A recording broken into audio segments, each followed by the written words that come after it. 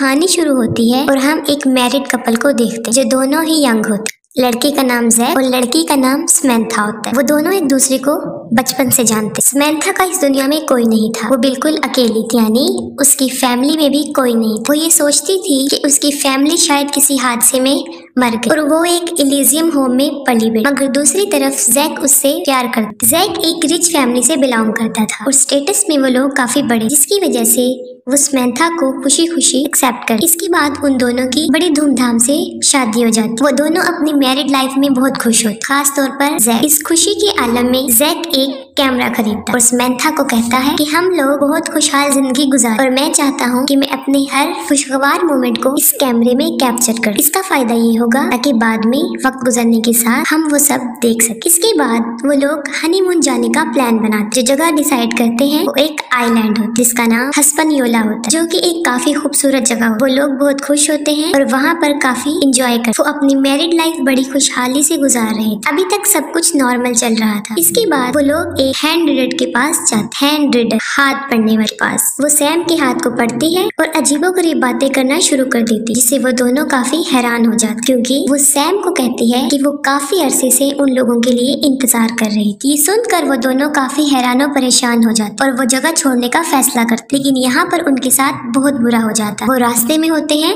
और अपना रास्ता भूल जाते और अपने होटल का रास्ता उनको याद नहीं रहता। वो लोग उस रास्ते पर चल रहे होते हैं कि अचानक एक टैक्सी वाला आकर रुकता और कहता है कि मैं आप लोगों की मदद कर सकता वो आदमी काफ़ी फ्रैंकली नेचर होता। वो लोग उस आदमी का बिहेवियर देखकर काफ़ी इम्प्रेस हो जाते। गाड़ी में ड्राइवर उन दोनों को कहता है कि मुझे लगता है कि आप लोग हनीमून पर आए। तो मैं चाहता हूँ कि मैं आपको यहाँ पर एक खूबसूरत जगह दिखाऊँ और वहाँ जाकर आप यकीनन इंजॉय करेंगे। वो उनको बताता है कि आपको वहाँ पर ज़्यादा देर स्टे नहीं करना पड़, सिर्फ़ 20 मिनट, जिसके बदले में वो उनसे कोई चार्जेस भी नहीं लेगा। उसकी बातें सुनकर सैम इनकार कर देती क्योंकि सैम थक चुकी होती है और आराम करना चाहती लेकिन जैक उसको बताता है कि तुम बाद में आराम कर, हम ज़्यादा अरसा वहाँ स्टे नहीं करेंगे। जैसा की उस ड्राइवर ने कहा, सिर्फ़ बीस मिनट। इसके बाद हम देखते हैं, वो गाड़ी वाला उनको एक खुफिया जगह पर ले जाता है। उस ड्राइवर के इरादे ठीक नहीं लग रहे होते। ऐसा लगता है कि वो उन लोगों को अगवा कर कर ले आए कुछ दूर चलने के बाद वो लोग एक बेसमेंट में जाते जो कि एक क्लब होता। वो जगह उन दोनों को काफ़ी पसंद आती। सारी रात के लिए वो वहाँ पर स्टे करते हैं और सारी रात वो खूब ड्रिंक करते वो शराब के नशे में हो जाते हैं और इसके बाद उनको होश नहीं। इसके बाद देखा जाता है कि कुछ लोग उनको वहाँ से उठाकर ले जा रहे होते और इसके बाद देखा जाता है कि वही लोग जो उनको लेकर जा रहे होते हैं, काफ़ी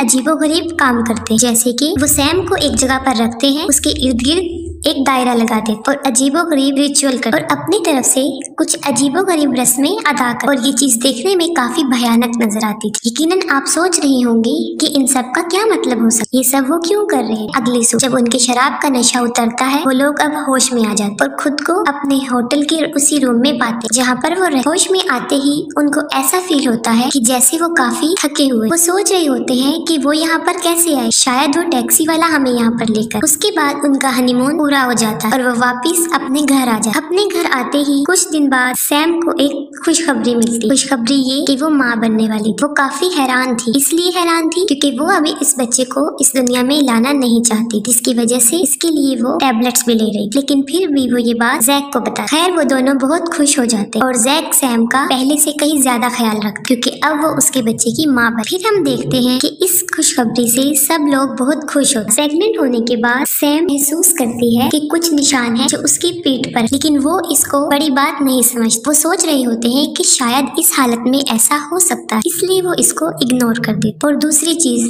जो सैम के साथ हो रही उसकी नाक में से कभी कभी ब्लीडिंग शुरू हो जाती जैसे कि एक रात सैम सो रही होती है और जैक उसको सरप्राइज़ देना चाहता है। वो उसी कैमरे से वीडियो में उसको कैप्चर कर रहा होता है कि सैम फ़ौरन जाग और वो फ़ौरन हड़बड़ाकर उठ जाती। और जैक का हाथ काफ़ी मजबूती से पकड़ सैम की ये हालत देखकर जैक काफ़ी हैरान हो जाता है और काफ़ी डर जाता। है वो सोच रहा होता है कि ये सब वो नींद की हालत में कर रहे वो उसको काफ़ी उठाने की कोशिश करता। ये सब इंसिडेंट्स उसके साथ हो रहे होते हैं। लेकिन इससे भी ज़्यादा भयानक जो उसके साथ हुआ, वो लोग शॉपिंग के लिए जाते शॉपिंग मॉल में सैम खड़ी हो इसके बाद वो देखती है कि मीट पड़ा हुआ अच्छा मीट वो उसके पास जाती है और गौर से उसको देखती रहती उसको देखते देखते थोड़ी ही देर बाद उसको वहीं पर उठा लेती है और सबके सामने उस गोश्त को खाना शुरू कर दी। वो इतने बुरे तरीके से वो गोश्त खा रही थी। देखने में ऐसा लगता था कि काफ़ी दिन से उसने कुछ खाया उसे ऐसा करता इर्द गिर्द सब लोग देख रहे वो लोग उसे अजीबो गरीब निगाहों से देखते हैं, क्योंकि ये काफ़ी बुरी बात और उनके लिए डिस्टर्बेंस क्योंकि कोई भी नॉर्मल इंसान कच्चे गोश्त को नहीं खा और उसको खाने का मतलब कुछ और ही हो सकता कुछ दिन बाद हम देखते हैं एक अजीबो गरीब वाक्य, जब जैक उसके साथ होता है। वो लोग गाड़ी में जा रहे होते हैं और पार्किंग एरिया में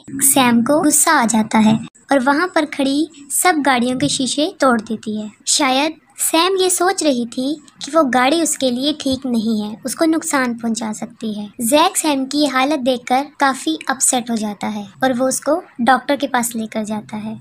उसके ख्याल में ये इसलिए हो रहा होता है कि वो प्रेग्नेंट है और टेस्ट करने के बाद वो जैक को बताता है कि इट्स अ नॉर्मल थिंग ऐसा होता रहता है। उसको इसकी फ़िक्र करने की ज़रूरत नहीं। वक्त गुजरता गया और सैम की हालत और खराब होती गई। ऐसे लगता था कि जैसे उसके पास एल्विस पावर्स क्योंकि उसकी तरह और प्रेग्नेंट औरतें जब उसके पास होती थी तो उनके पूरी बॉडी में पेन होना शुरू हो जाती थी। सैम और जैक चर्च में जाते हैं और सैम वहाँ के फादर से मिलती है। वो उसको जैसे ही हाथ लगाता है उस फादर की तबीयत खराब होना शुरू हो जाती है और थोड़ी ही देर बाद उस फादर की नाक और मुँह से खून आना शुरू हो जाता है और उसके सर में भी मुसलसल दर्द रहता है।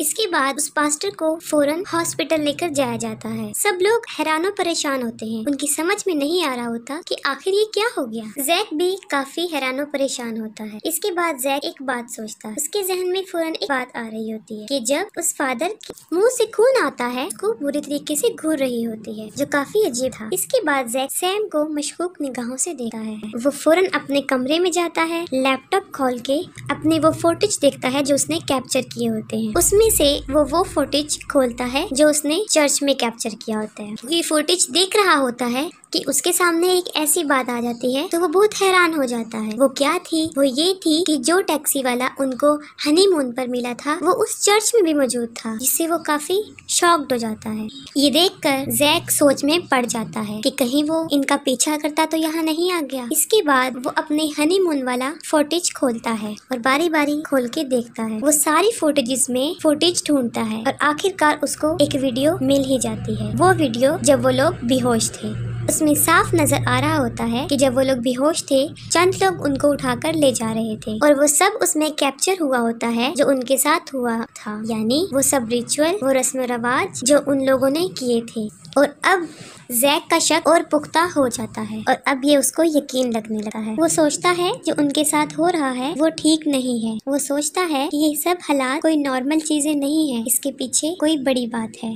इसके बाद वो सोच में पड़ जाता है कि उसे क्या करना चाहिए। फिर वो अपने एक दोस्त को बुलाता है अपने घर पर, ताकि वो सब कुछ देख सके, जो उसके साथ हो रहा होता है। लेकिन जैक को इस बात का इल्म नहीं होता कि हालात उसके कंट्रोल से बाहर हैं, क्योंकि उसके साथ जो बैड लक होती है, वो ये थी कि वो घर से बाहर जाता है। और जब वो वापस आता है तो एक चीज़ देखकर वो बहुत हैरान हो जाता है। वो क्या थी? वो ये थी कि उसके लैपटॉप में से सारा डाटा कोई चुरा लेता है। वो ये देख कर काफ़ी हैरान और परेशान हो जाता है। फिर उसको ये शक होने लगता है की कई दिन से हमारे पीछे कोई है। मतलब कोई उनको मुसलसल फॉलो कर रहा है। वो परेशानी के आलम में इधर उधर फिर रहा होता है। तो उसकी नज़र विंडो पर पड़ती है। वो देखता है कि किसी ने विंडो पर अजीबो गरीब किस्म की मिट्टी गिराई हुई है। ये किस चीज़ की तरफ़ इशारा था वो काफ़ी सोचता है। इन हालात से वो काफ़ी डर जाता है और वो फ़ौरन पुलिस को इन्फॉर्म करता है। पुलिस को ये सब कहानियाँ लगती है। वो उनकी बातों पर यकीन नहीं करता। इसके बाद वो उस फादर के पास जाता है जिसकी हालत खराब हुई थी। उस फादर की हालत काफ़ी तफ्तीशनाक थी। काफ़ी सीरियस कंडीशन में था और वो जैक को कुछ बताता है। वो कहता है कि वो वक्त दूर नहीं जब बहुत से एंटी क्राइस्ट पैदा होंगे यानी दज्जाल। वो बस इतना ही कहता है और खामोश हो जाता है। वो कोई भी बात को एक्सप्लेन करके नहीं बताता। जैक बहुत परेशान था। उसको अपने सवालों के जवाब चाहिए थे, क्योंकि इस सारे हालात से वो नावाकिफ था। और सैम में भी काफ़ी अजीबो गरीब तब्दीलियाँ आ रही थी। जैसे जब वो अकेली घर पर मौजूद होती, वो वही रिचुअल्स करती जैसा उसके साथ हुआ था।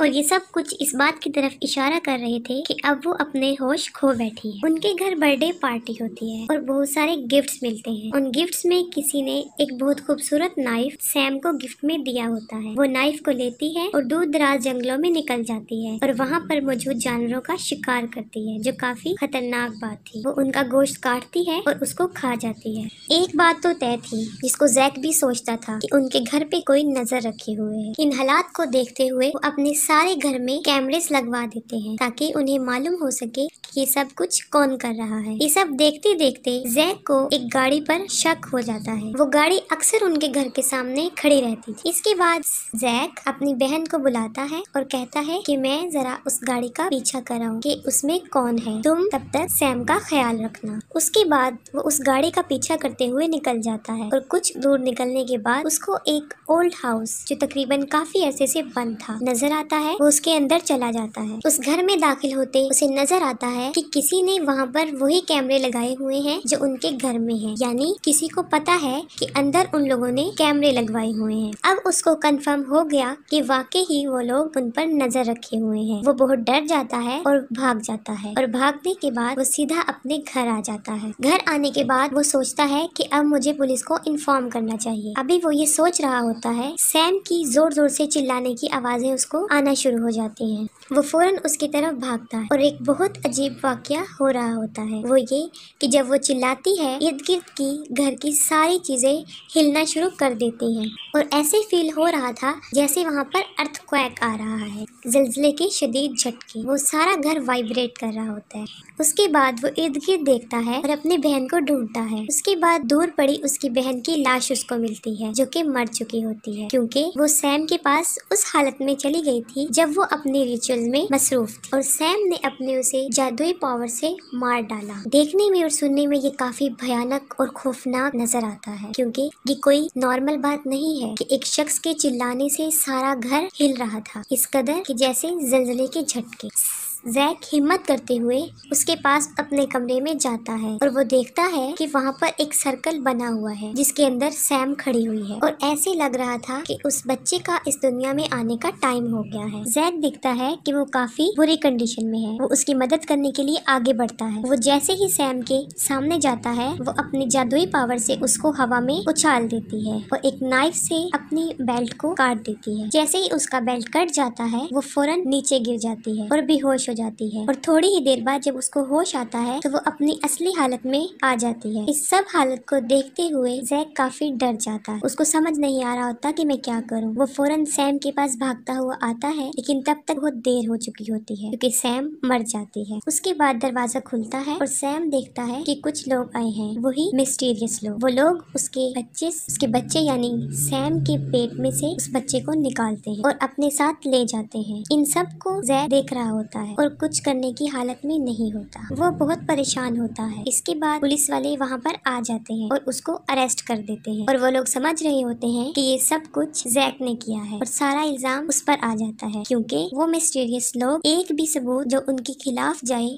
या कोई सुराग मिले छोड़कर नहीं गए थे। उसके बाद कुछ देर बाद हम देखते हैं कि वही गाड़ी वाला, जो जैक और सैम को लेकर जा रहा था, वो फिर एक कपल को इंजिस्ट करता है कि वो उनको घुमाने लेकर जाएगा। कहानी काफ़ी कॉम्प्लिकेटेड हो गई होगी, कि इसको समझना मुश्किल है। इस दुनिया में दो तरह के लोग होते हैं, अच्छे भी होते हैं और बुरे भी होते हैं। एक ग्रोह ऐसा है, जो की शैतान की पूजा करता है, और ज़ाहिर सी बात है की वो लोग अच्छे तो नहीं होंगे। उनके पास काफ़ी एवल्स पावर होंगी, शैतानी कुवतें होंगी, और वो लोग उस दुनिया में कुछ बच्चों को लेने आते हैं। उन बच्चों को कि जिनकी माए ऐसी होती हैं कि जिन्होंने मरी हुई माँ के बगैर ज़िंदगी गुजारी हो। यानी डिलीवरी के दौरान मरने वाली माओ को वो लोग प्रेफर करते हैं और उनसे पैदा होने वाली बच्ची को वो अपने साथ ले जाते हैं। उनका एक कल्ट होता है जो बहुत बड़ा ग्रो होता है और वो लोग उस बच्ची की परवरिश ऐसे ही करते हैं जैसे एक घराने में उसकी परवरिश होती है छोटी से बड़े होने तक जब तक कि वो जवान ना हो जाए और उसकी शादी ना हो जाए। वो लोग काफ़ी ताकत ताकतवर होते हैं और उनके लिए ऐसी औरतों को फांसना कोई मुश्किल बात नहीं, क्योंकि वो तादाद में भी काफ़ी ज़्यादा होते हैं। क्योंकि जब वो ऐसी लड़की को फंसा लेते कि जिसकी माँ मरी होती है, उसके बाद वो उसके ऊपर रिचुअल करते और पहले ही रिचुअल में वो लड़की प्रेग्नेंट हो जाती और उसके बाद वो उसे तब तक फॉलो करते रहते हैं जब तक के उसमें से वो बच्ची को जन्म ना दे दे और वो लोग उसे अपने साथ न ले जाए। क्योंकि वो बच्चा उस नॉर्मल इंसान का नहीं होता, बल्कि वो एवल्स पावर वाली औरत का होता है, जो रिचुअल कर रही होती है। जैसे, उस फादर ने भी ये बात की थी कि वो वक्त दूर नहीं, जब बहुत से दज्जाल पैदा होने वाले और ये भी उसी की किस्म है, जिसके पास शैतानी पावर है। और इनको एंटी क्राइट्स भी कहते हैं। ऐसी औरतों की कोई जगह नहीं होती। मतलब